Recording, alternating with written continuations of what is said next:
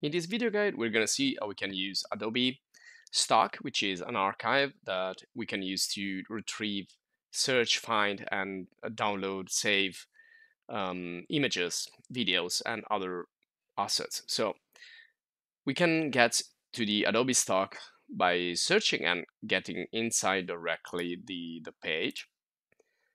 And we're going to start from the home page. We can also go to stock photos uh, royalty freeze there there are also some some free asset right here. So this is going to be the the interface and let's search for like Christmas. So we can search using a keyword right away here and just start to filter the images. And then you're gonna see these search results here. So you, you have so many assets right here. You can see and if you go up here, you can also see if you want to go for uh, simple photos, photographs, or you can you want to find illustrations like uh, graphic uh, illustrations. So let's just give a look to this. So these are like illustrations right here, and then vector graphics. If you want to search for logo or icons, or something like that, and then you have videos there you go, video effects, animation, vertical videos, audio files. You have also templates that you can use for printed design, packaging, digital design, digital media in general, printed graphics, and so, so much more. Now, of course, it's better if you use uh, Adobe application when you want to use these because these are will be made like in uh, InDesign or Photoshop or Illustrator. You can also have a, free section here. So this is when you can get uh, free photos and free vectors, free videos, and other uh, interesting graphics. So let's say that I want to go for the backgrounds right here. There you go. So you can also try the full collection for free or you can just go here and select some of these free. You can see here they have the free button available. So let's say that I like this, I'm gonna click and I'm gonna expand the image. Now uh, I can right click here and save the image. Let's, I'm gonna save it here in the downloads. There you go. Let's open it up. So you can see there is like this little um, logo here, or you can just save it to library. This is going to save it in your um, account, Creative account, Cloud account.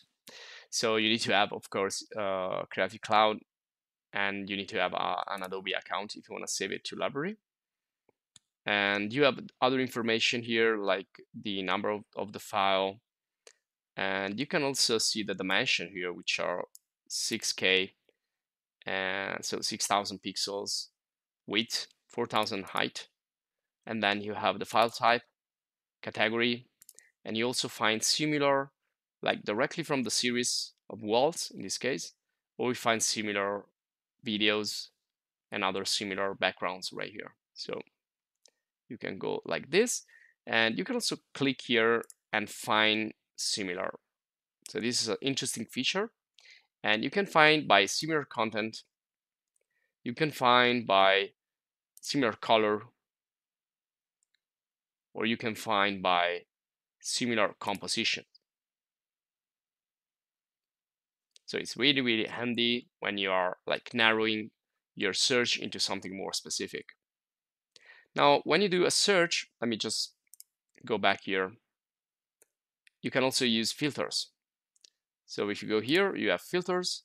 You can filter and search for like only videos or only images and then like only 4K videos and then duration, frame rate, you know, all these parameters that usually we find in videos.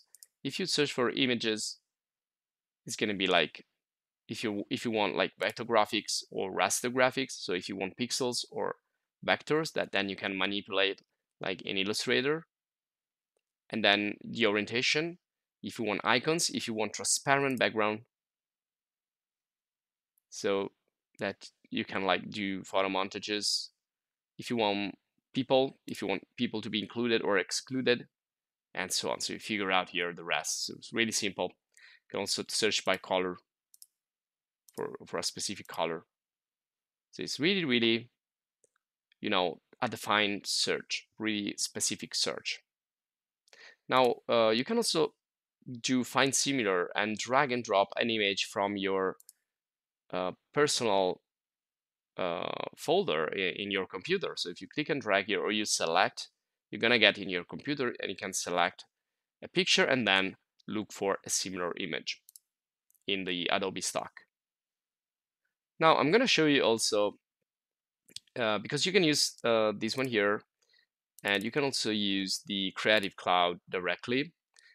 And you can also download the Creative Cloud for desktop. This is again the browser.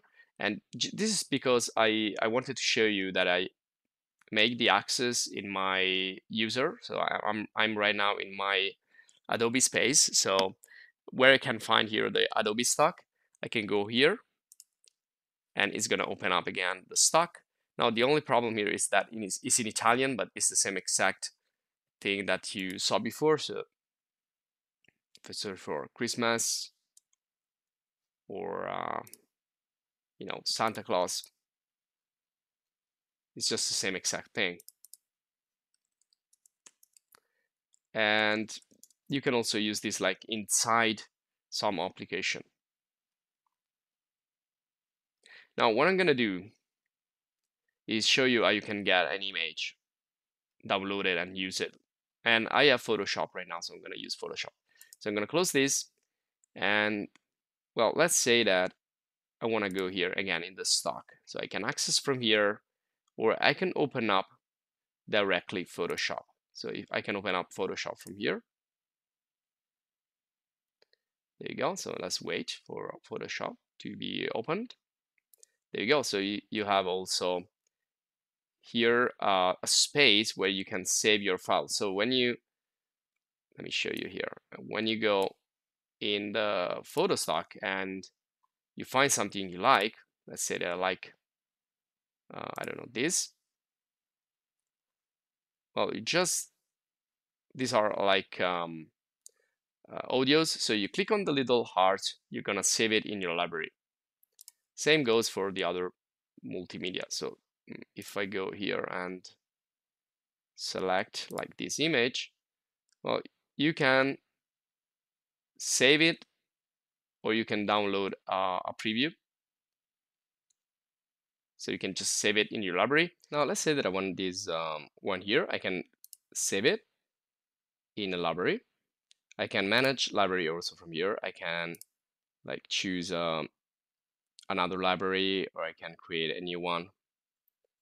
So just click on the little heart and then manage and you can figure out your how you can manage your files and you can create a new one right away.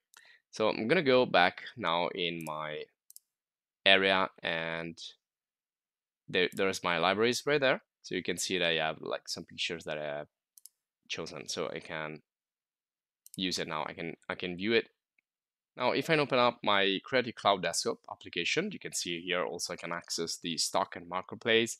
And then I have my file section. And then I have my file, shared with me, and my libraries. So I can take this one and just click again. And that's going to open up Photoshop right there.